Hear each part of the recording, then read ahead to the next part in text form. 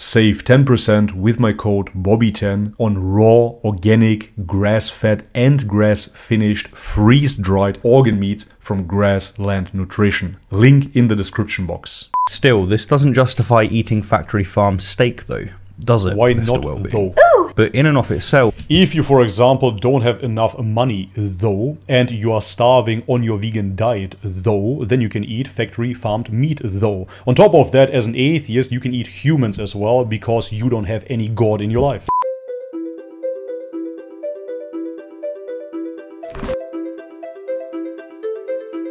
Oh, Alright guys, welcome back to the channel. If you're new, my name is Bobby. Guys, today we're gonna react to Rationality Rules with his video Veganism Will Win, but you're wrong about why. Rationality Rules is an atheist YouTuber and as far as I know he's a vegetarian, not a vegan. Yes, Rationality Rules because it is rational to be an atheist. Let's have a look. And I'll just, I'll just, I'll just say, um, when we went to dinner earlier, He has the moral the high ground based the on dinner. vegan Yeah. had to sit with three meat eaters. He really has the moral high ground. Atheist discussing moral high ground. eaters eating these like big ass. Can you see the joke? steaks. All right, No? so um, toss it to you. The, the amazing thing is, I, I briefly considered what to order in light of having to face this moment, and then I said, It Wasn't worth it. "That's right, yes.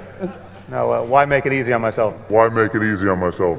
I once said of Sam Harris that he'd be remembered long after we're all dead, as if he's in the lofty category of Darwin, Hume, and Einstein.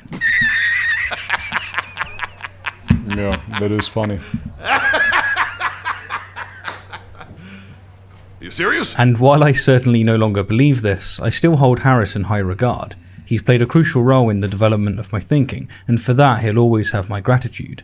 He's undoubtedly an extremely intelligent, insightful, and, well, moral person. Why are you atheists so obsessed with morality? Where does morality come from? You heard this question a billion times before, but you still cannot see it. You're gonna die, close your eyes, and that's that. There is nothing after death. Remember, there is no consequence to what you do. There is no good and evil. Everything is subjective, anyways. So, what is morality to begin with? What do you base it on? On society? Does society dictate what moral is? If that is so, yet again, why does it matter? Why do you care? There is no consequence to what you do. Just live your life and die. Or- What's the reason? Or is he? In his moral landscape, he champions the thesis that morality is about maximizing well being and minimizing suffering. So, consequent. is well-being good? If there is no ultimate good, if there is no right and wrong, why is well-being better than suffering? Why? So I'm, I'm basically a, a consequentialist. and yet, when he gave up on veganism due to dietary needs, I do eat meat. I was uh, a vegetarian for, for six years and began to feel that I wasn't getting enough protein. which is a premise I'll grant for sake of argument, what did he do?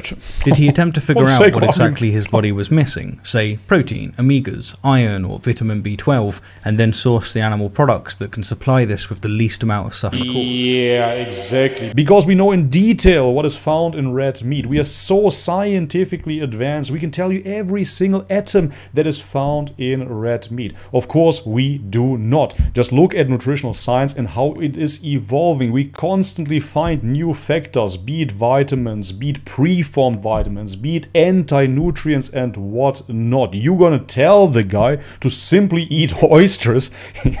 no human being has sustained a diet based on oysters. And moreover, yet again, why is the suffering of the cow bad if there is no bad? No, he went straight for steak. Oh, for bad, a highly evil. developed social species. there is no a mammal with much of the same physiological apparatus as us. So what? What's more, he buys it from a restaurant, so it's very likely factory farmed. Now, this doesn't strike So what? Yet again, even if you grant the premise, I'm going to use the same wording as you, and you are about maximizing human well-being. Going to a restaurant enjoying a steak, newsflash, maximizes human well-being. me is consistent with his thesis. So maybe Harris doesn't drink his own Kool Aid, This is so or maybe his man. thesis needs revision. Wow. Or maybe Harris is a moral monster. A moral Well, monster. I think that I have What is a moral monster? Do I have to repeat myself one more time? Morality in your worldview is dictated by society. So let's go back to Nazi Germany. Within that society, you would have different moral views. Are they therefore correct? a compelling reason as to why Harris is not vegan, as to why I'm not vegan, Wow, and man. indeed as to why most of us are not Please vegan. let me know. I and want to in know. this video, I'll do my best to explain it. That said, Okay. though, let me make clear from the outset that I'm not claiming to have an ethical argument against veganism. No, I'm merely going to provide two reasons as to why I don't buy the case for ethical veganism. How about human nutrition? To properly nourish a human being, you need animal food. I'll then controversially Ethical argument that closed. most people subconsciously reject ethical veganism for one of the same reasons that I do. Honestly, if you don't have God in your life, you have to jump through all of those hoops. Yeah, I know, it's a tall order, but, well, Life is suffering. It's a challenge. Well, let's see if I can serve it. He's showing carnivores that eat other The day may come when the non human part of the Wow. animal creation will acquire the rights that never could have been withheld from them except by the hand of tyranny. The French hmm. have already discovered that the blackness of the skin is no reason why a human being should be abandoned without redress to the whims of a tormentor. Perhaps it will someday be recognized that the number of legs, the hairness of the skin, or the possession of a tail are equally insufficient reasons for abandoning to the same fate a creature that can feel. What else could be used to draw the line? Is it the faculty of reason or the possession of language? Humanity? But a full grown horse or dog is incomparably more rational and conversable than an infant of a day or a week or even a month old. Yeah, how about the potential that that toddler one day will become a flourishing member of society and the cow cannot be that? Even if that were so, How about that? what difference would that No. make? The question is not can they reason, nor can they talk, but can they suffer? Is suffering bad? That's my main man, Jeremy Bentham, dropping one off, if not the most famous vegan quotes. And upon hearing it at the age of 18, I couldn't stop thinking about it. And yes, I know I was a really cool teenager. In fact, I lost a lot of sleep over Bentham's words, until six months later I gave up meat and poultry entirely, becoming a pescatarian. Long story short, five years later I became a vegetarian, and since then I've been progressively reducing my dairy and egg consumption, with today my diet consisting of about 95% vegan products. Give it a year or so, and I strongly suspect that I'll be entirely vegan. But it's not because I find the ethical vegan arguments convincing. What a strange person. So, the Yeah, why do you do it then? question is, Let's why go. am I not vegan yet? This seems No, the question is why are you vegetarian for so long? It's like a fair question. You are an atheist, as I said, you're gonna die, nobody will remember, we all gonna die, everything just turns black. Just eat steaks until you die. Enjoy yourself. And it's What's certainly the one big I get deal? a lot in the comments. No morals, no God, no ethic, who cares? In fact, Who cares, evidently, man? it's such an interesting question that when pitching a series of topics to my ah. wonderful patrons, they overwhelmingly voted for me to answer the vegan question. Though, one wisely warned that there's very little upside to this project, since I'll likely piss off vegans and lose a bunch of subscribers. Uh, and who I think this is probably true. It's solid advice. And advice I should follow. But as I'm certain my patron will appreciate, I think fake, taking a swing at some of the harder topics is the right thing to do, come whatever may.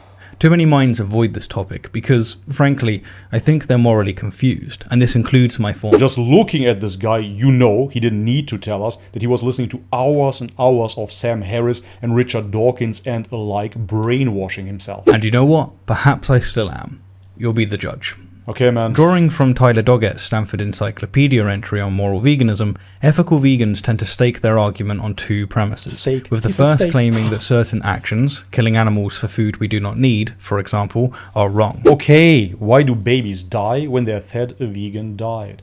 Why do we have a 84% dropout rate of veganism? Why do we have so many depressed, sick vegans on antidepressants? Can you please answer the question? premise asserting that a mode of production or event, recreational hunting for instance, instantiates the first premise. Schematically, this is X is wrong, Y involves X, therefore Y is wrong. Among the candidate values for Uh-huh. Eating X animals is are right. causing animals pain for the purpose of producing food when there are readily available alternatives, extorting sentient beings, inflicting suffering, or to give a human Yeah, sentence. the premise is always that there are alternatives. Listen, man, just because the vegan cheese from the distance looks like regular cheese doesn't mean it has the same nutrients. No plant food has vitamin B12. We're talking about real, authentic vitamin B12, not some supplement gunk. No vegan food has vitamin D3, DHA, EPA, or proper vitamin A. So there is no real alternative. Trick example harming Your whole example is wrong. And candidate values for Y are industrial animal farming, free range farming, dairy farming, Mm-hmm. and recreational hunting, to name but a few. Now, my illustrations are going to focus on the dairy and egg industry, that is, vegan objections to vegetarianism, and it's for two reasons. First, it's because I'm a vegetarian, and a large point of my meandering here is to explain why I'm a vegetarian instead of a vegan. Oh. And second, because Yeah. it stands to reason that a successful moral argument against the vegetarian position is going to listen to simultaneously defeat the omnivorous position. It's so self defeating and frustrating to listen to you, man.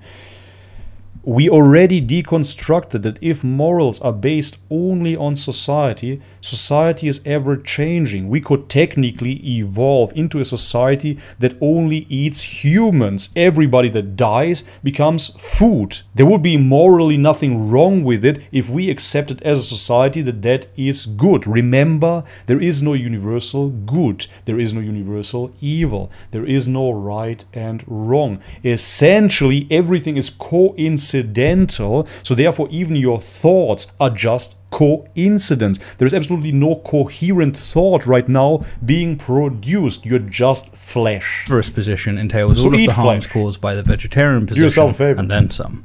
So what I've done is found an argument for ethical veganism that strikes a healthy balance between one being a strong argument and two resembling a typical popular argument. Okay, And in I'm the process of attempting to steelman it will account for the dialectic. Mm-hmm. In my opinion, too often vegan arguments are shut down due to certain details being undefined or misunderstood. And my hope is that this approach will mitigate these issues. Issues. It's not unnecessary. To feed the world as it is right now with our mega cities, we do need factory farming. Why do we need it? Because plants do not have the nutrients that are contained within animal flesh or the organs or the excretions. Chicken periods. Do you get it? Plants do not have the same nutrition, therefore it becomes necessary. of altruism That's it. foundation, It's the not the strongest strongest argument, argument. for veganism It's the goes weakest. as follows. Premise 1. We shouldn't be cruel to animals. That is, we shouldn't harm animals unnecessarily. Premise 2. The consumption of animal products harms animals. Okay. Premise 3. The consumption of animal products is unnecessary. It is not. Conclusion. Therefore, we shouldn't consume animal products. Alright, let's get back to his arguments. We shouldn't be cruel to animals, we shouldn't harm animals unnecessarily. As I already said, plants do not have the nutrients that are contained within animals, so therefore it is not unnecessary, but rather necessary. Premise 1 is false. Premise number 2 the consumption of animal products harms animals. Yes, animals eat other animals. You are atheists, you see human beings as animals, so therefore, if animals eat other animals, we can proceed and continue to eat other animals. On top of that, if you take the Darwinistic worldview, we are the top of the food chain, we are the apex predator, and therefore we can eat other animals because we're just animals. Of animal products harms animals. Premise 3. Premise 3 The consumption of animal products is unnecessary. As I already explained, no, it is not unnecessary. Vitamin A, vitamin B12, DHA, EPA, vitamin D3, K2, the list goes on. Conclusion. Therefore, we shouldn't consume animal Therefore, we products. should. Now, this Yes. strikes me as a broadly convincing argument, and the authors solidify How? it with a very compelling How is this question. convincing to you? At which point could one plausibly block this line of reasoning? If you consume animal products, then which of these premises do you reject? Because All of them. seemingly we have to reject one of these premises or go vegan. Yes, all of them. And I say seemingly, of course, because it's possible that one can completely accept the vegan argument and yet simultaneously be convinced of a mutually exclusive argument that supersedes priority, such No, as all wrong. quantum and health being at odds with veganism. Why the fuck aren't you vegan yet? began to feel that I wasn't getting enough protein. Still, this doesn't justify eating factory farm steak though, does it? Why Mr. not Welby? though?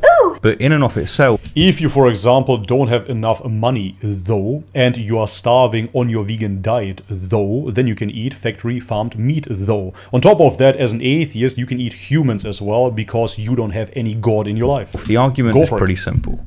If we shouldn't unnecessarily harm animals and the consumption of animal products unnecessarily harms animals, then trivially we shouldn't consume animals. It's that simple. Okay, trivially, we should go out into nature and kill all the predators so no animal can ever eat another animal. Let's fix well, it. let's analyze now. each of these premises and then strengthen them when and where we can. Premise 1. We shouldn't be cruel to animals. That is, we shouldn't consume animal products unnecessarily. The statement that we shouldn't be cruel to animals is very compelling, since rejecting this Why? implies that one is perfectly fine with animal cruelty. Yes. But without the word unnecessarily in the forefront, It's not even cruelty. It's not as if humans actively torture animals for fun, even though I've seen kids do that. It is about food production. The death is very quick. If you compare us killing animals to any other animal killing animals, you will see that we are the most compassionate ones. This premise is just false, as it's easy to conjure a situation in which Oh, thank you. to animals is justified. For instance, the poisoning of rats to prevent spread of disease. Yes. Killing rats with poison is, without Good, doubt, man, good. extremely cruel. It's a for you. very, very nasty death, but it Yeah. can, in certain situations, be justified on account of it being necessary to keep children safe, etc. Yep. And especially when other means of preventing proliferation are not as effective. The restated form of There this you go. premise, however, doesn't suffer this objection, since it states that we shouldn't harm animals unnecessarily. Oh, Given this, let's drop the former part. We shouldn't harm animals unnecessarily. Or as my dear friend Alex O'Connor has more potently put it, that extraordinary harm and mistreatment requires extraordinary justification. Lastly, let's switch the word Food. animals with Nutrition. sentient beings, as it's the capacity to experience feelings and sensations that's of specific relevance, not the kingdom a being belongs to. Now, for sure, I'm being pedantic here, and despite this change, I will from here on use the words animals and sentient beings as if they're synonymous. But since we're strengthening the argument, let's dot the I's and cross the T's. Premise 2. The consumption of animal products harms animals. On a literal reading, this premise is just false. It's not the consumption of animal products that causes harm, but rather the process of acquiring the animal product that, more often than not, causes harm. When a hunter cooks Nobody likes eats a wise ass, he's bro. not harming the deer. No, he harmed the deer and the deer's kin, if it had any, when, in an act real? of pure masculinity, he equipped What is this himself with an incredibly Mental powerful and accurate weapon, found a safe space, Who's and pulled the trigger from hundreds of feet away. Is it the gun or people? Man, dude. Likewise, when someone, such as myself, cooks and eats an egg, I don't harm the chicken. No, I harm the chicken when, in an act of pure masculinity, I paid someone else, millions of feet away, to harvest the chicken period for me. so it's not the period. consumption of It's animal not even products in and of itself that causes harm, period, you but rather dummy, the deliberate acquisition Wow. of products from sentient beings that causes harm. Now, I use the words deliberate acquisition because it carries the connotation of consciously and intentionally obtaining the product, and not necessarily with currency. If, for instance, I did some gardening for someone on the assumption that they'll cook me fish and chips as payment, or at least part of As I said, if you don't have God, you have to go through all of those mental hoops. payment, then make no mistake about it, I would be It can be deliberately so simple. acquiring the fish. But suppose instead that I found a dead fish washed up on the beach and decided to take it home and eat it. Mm. In this case, is it fair to say that I harm the fish or deliberately obtain But who harmed that fish? Maybe it was a bigger fish. Maybe we should start an investigation. Send the police into the ocean. Well, as far as They I'm convinced, the like answer us. is no, and so I just don't see an explicit issue with such an act. An issue. To be clear, I've never done this, but given my understanding of ethical veganism, this seems perfectly consistent with it. Just so long, of course, I'm not deliberately walking along the beach to find dead fish. Now, some will argue That's that taking the fish harms other animals that would have otherwise consumed the fish. Hmm. And while this objection is worth considering, I think it's ultimately nullified by the fact that vegans also harm surrounding animals when they forcibly occupy land to produce and consume crops. Thus, since both Yeah, cases suffer correct. the same objection, within the context of comparing the two cases, this objection can be ignored. To get back on the rails, the question is Does the deliberate acquisition of products from sentient beings harm sentient beings? At a glance, the answer is obviously yes. When I buy a pint of milk, I pay for an industry to harm sentient beings. However, there are some interesting objections that are worthwhile mentioning. For instance, in order to acquire the milk, it's necessary to ensure that the cow receives adequate shelter and sustenance, which in the state of nature they often don't. From this, it can be argued, then, that on average, farming Oh, I have to increases the well-being left of and right here. What's more, if it wasn't for humans Yes, exactly, man. On farms, animals live like they are in heaven. They have access to food 24 7 in abundance, and on top of that, they do have shelter. They are super safe. In nature, they would be eaten from the butthole up. Oh, they pull him by his his penis, or what do they do? Oh, consuming animal is produce, better? then billions of animals There is wouldn't have existed and thus experienced any happiness in the first place. Now, while a fair few find these objections Again. compelling, I'm not among them. We'd never Cool. apply these objections to humans. That is, we'd never say that since we provide shelter and sustenance to other humans, we can confine them and end their life prematurely. Yes, because they're not humans. Or that if we didn't eat other humans, they would never experience any happiness in the first place. And once human comparison comes up, the dialectic spirals in a thousand different directions, mm-hmm. and so we're put a pin in it here. That said. Nice. if there's enough objection to this premise, I'll revisit it. But honestly, I think it's philosophical masturbation to argue that the deliberate Alright, guys. And this it. I'm gonna cut it off here. This guy is in love with his own voice. He can listen to himself for hours. I personally cannot. The video is long enough as it is. If you want me to continue, right now we're at minute 13 of the video. And the video is 31 minutes long. If you want me to continue, then I will. For today, I'm shutting it down. If you liked the video, leave it a thumbs up. If you haven't subscribed already, guys, please do so. If you want to support this channel, all the links are in the description box below. Thank you so much for your support. And as always, may God bless you all. Yes, you too, atheists. Much love and peace.